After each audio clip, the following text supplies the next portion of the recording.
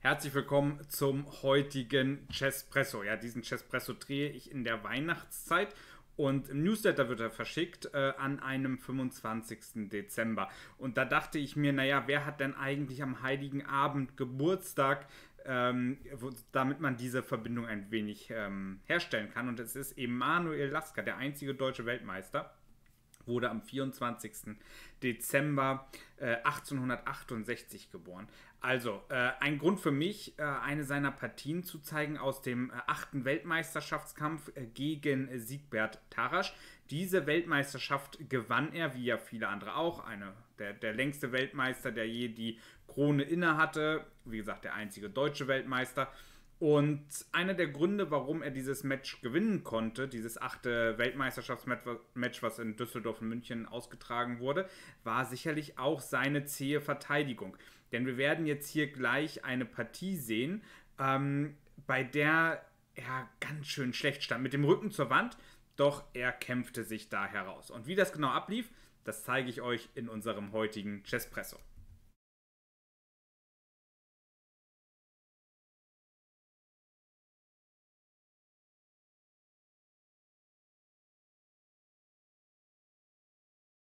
Genau, also äh, Tarasch eröffnete mit dem Zug erstens E4 und 1908 natürlich die Eröffnungstheorie. Die war noch nicht allzu weit vorangeschritten, aber trotzdem äh, waren das schon richtig, richtig starke Spieler, äh, die schon relativ viel über Eröffnungen wussten. Zum Beispiel, dass die spanische Partie eine der besten Eröffnungen nach erstens E4, E5 für beide Seiten ist. Und so wurde das auch hier gespielt. Übrigens, wer mehr über zum Beispiel Emanuel Lasker oder die anderen Weltmeister wissen möchte, dem empfehle ich sehr meine Weltmeister-Serie. Lerne von den Weltmeistern. Da habe ich jeden Weltmeister zehn Partien gewidmet und versuche dort auf lehrreiche Art und Weise die Karriere der Spieler durchzugehen und dabei auch immer wieder Trainingsaufgaben zu stellen, die ihr dann lösen sollt. Also hier kam Springer F6, etwas, was heutzutage als Art Berliner Mauer bekannt ist.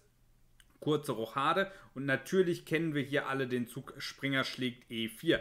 Doch Lasker entschied sich für das bisschen passivere D6 und Tarasch ließ sich da nicht zweimal bitten, spielte D4, versuchte also direkt diesen Durchbruch im Zentrum äh, zu schaffen. Jetzt könnte man sagen, na gut, wir nehmen jetzt hier raus, E schlägt D, Springer schlägt D4, Läufer D7, kann man natürlich durchaus so spielen, ist nichts verkehrt damit. Aber es kam hier Läufer D7 von Lasker. Er versuchte also hier ein bisschen Spannung aufzubauen, in der Hoffnung, dass hier vielleicht mal sowas kommt wie D5, Springer E7, der Springer geht nach G6, kann sich vielleicht mal das Feld F4 angucken. Und äh, man kann zumindest behaupten, dass so viel hier noch gar nicht passiert ist, wobei diese Stellung hier natürlich sehr an einen Königsinder erinnert, wo jetzt die weißfeldrigen Läufer abgetauscht werden. Und das Problem bei einem Königsinder ohne weißfeldrige Läufer für Schwarz ist, dass diese ganzen Angriffe Richtung weißen König nicht mehr funktionieren, weil einer der Hauptideen im Königsinder ist es ja, irgendwann mal mit Läufer schlägt H3 eine Figur zu opfern, um gegen den äh, gegnerischen König durchzudringen. Also auch D5 hier ein guter Zugspringer, C3 Läufer E7, normale Entwicklung. Jetzt wird hier auf D4 rausgenommen und äh, kurze Rochade gespielt. Schwarz ist super entwickelt, aber steht natürlich ein bisschen passiv. Ist hinten drin. Die Figuren stehen auf E7, D7, C6 und F6. Das ist jetzt kein Strotz jetzt nicht vor Aktivität, aber es ist auch äh, trotzdem natürlich sehr solide. Läufer schlägt C6, Läufer schlägt C6. Alles wird hier ähm, abgetauscht und jetzt ein Zug, der taktisch sehr, sehr interessant ist. Äh, der beste Zug wäre hier wahrscheinlich gewesen, F4 zu spielen. Natürlich mit der Drohung, direkt mal A5, äh, E5 zu machen, ähm, sich schnell zu entwickeln, Königsangriff zu betreiben. Doch der Zug Springer E2 auch nicht uninteressant, denn die Idee ist natürlich, dass nach Springer schlägt E4, Springer D4 hier richtige Probleme entstehen. Zum einen äh, ist der Springer angegriffen, zum anderen droht Springer schlägt C6 eine sehr unangenehme, schon verlustbringende Situation. Stattdessen kam hier Dame D7 und die Überführung nach G3. Und ich hatte erst überlegt, ob ich dieses Kapitel, dieses, ähm, äh, diesen Chespresso mit der mächtige Springer überschreibe, denn dieser Springer, der wird noch zu prominenter Rolle bekommen und hätte der Matchwinner sein können. Turm FE8, B3, Turm A, D8 finde ich zwei sehr logische Züge, die Figuren in die Mitte zu stellen. Läufer B2 und hier ging es jetzt ein bisschen in die falsche Richtung für Schwarz. Denn Lasker spielte hier den Zug Springer G4. Ja, hatte wahrscheinlich noch nicht mal so einen aktiven Gedanken, sondern der Hauptpunkt ist, ich will gerne Läufer F6 spielen, um diesen unangenehmen Läufer zu entkräftigen. Aber vielleicht seht ihr es schon. Wenn nicht, haltet gerne das Video an und überlegt euch ein bisschen, was hier der richtige Zug sein könnte. Äh, denn das kommt zu spät. Hier hat Weiß einen sehr, sehr starken Zug. Und dieser Zug lautet Läufer schlägt G7. Denn nach König schlägt G7 ist ganz schlicht und ergreifend das Problem, Springer F5 mit Schach sperrt die Deckung der Dame auf den Springer ab und im nächsten kommt Dame schlägt G4. Springer schlägt F2, Kö äh, König schlägt F2 kam stattdessen, König schlägt G7 und Springer F5 und natürlich auch hier steht Weiß klar besser. Doch ich habe es zähe Verteidigung genannt, dieses Kapitel, weil tatsächlich Schwarz diese Stellung hier noch gewann. Also Weiß hat nichts weniger, hat einen fantastischen Springer auf F5. Schwarz steht hier mit dem Läufer auf E7 ziemlich hinten drin. Und nach Dame schlägt A7 hat Weiß sogar eine Figur, äh, einen Bauern mehr. Also eigentlich spricht ja alles für Weiß. Aber Lasker, und das ist wirklich weltmeisterlich, schaffte es sich hier aus dieser sehr brenzligen Situation zu be befreien.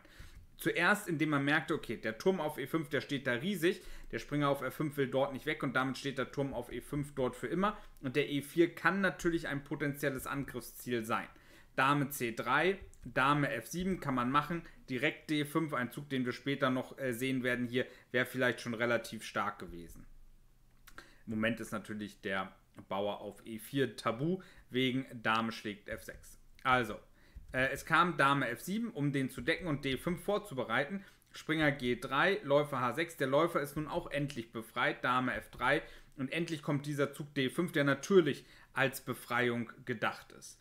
Und hier wurde jetzt weiß, weiß ich nicht, kam ein bisschen auf den falschen Pfad. Der beste Zug hier ist weiterhin Springer F5.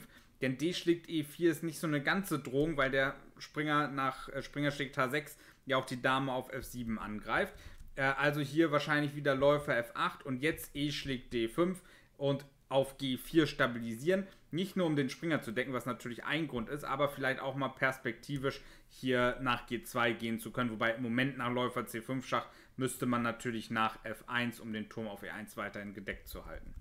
Also Springer F5 wäre klar besser gewesen. Stattdessen kam E schlägt D5 und jetzt auf einmal, auch wenn die weiße Stellung immer, immer noch objektiv in Ordnung ist, rollt die schwarze Angriffslawine.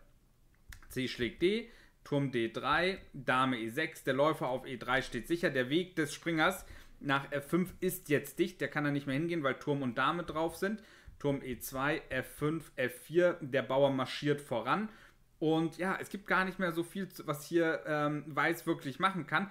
Weiß findet hier den besten, aber natürlich auch einzigen Zugspringer H1. D4, der Läufer ist dort äh, manifestiert auf E3.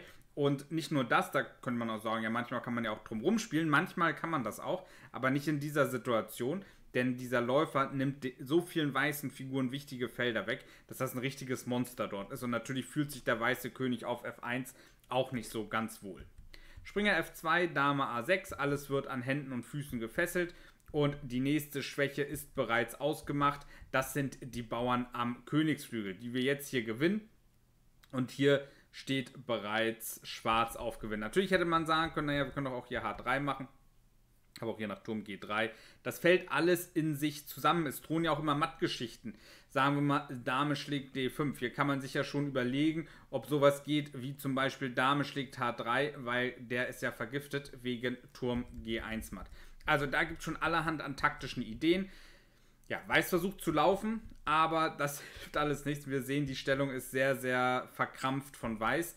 Äh, und ja, man muss jetzt hier nur schauen, dass man nicht in Dauerschach läuft oder in einen Matt oder in einen Konter. Und dann kann man zur rechten Zeit hier alles öffnen.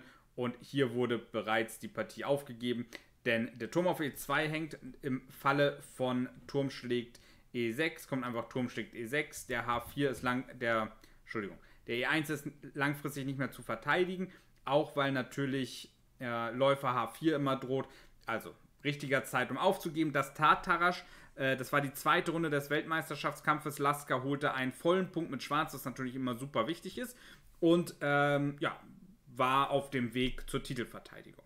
Ich hoffe, dieser Chesspresso hat euch gefallen. Ihr konntet ein bisschen was lernen. Schaut gerne bei www.chessimi.com vorbei um euch inspirieren zu lassen, um ein paar Kurse zu kaufen, um euer Schach zu verbessern. Und dann sehen wir uns bestimmt ganz bald an anderer Stelle wieder. Bis denn!